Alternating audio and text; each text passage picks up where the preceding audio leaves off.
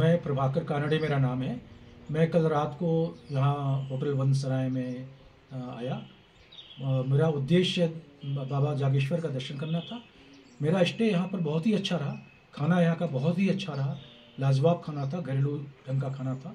और ख़ास तौर से यहाँ का स्टाफ बहुत ही कर्टियस है और बहुत ही अच्छा लगा। बार बार आने का मन करता है। धन्यवाद।